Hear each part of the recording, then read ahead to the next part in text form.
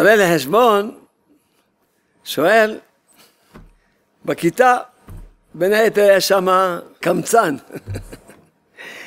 שואל אותו, יש לך 500 שקל בכיס, וקיבלת הודעה בטלפון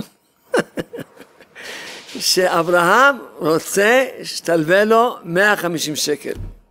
קיבלת עוד הודעה בטלפון שיצחק רוצה שתלווה לו 70 שקל.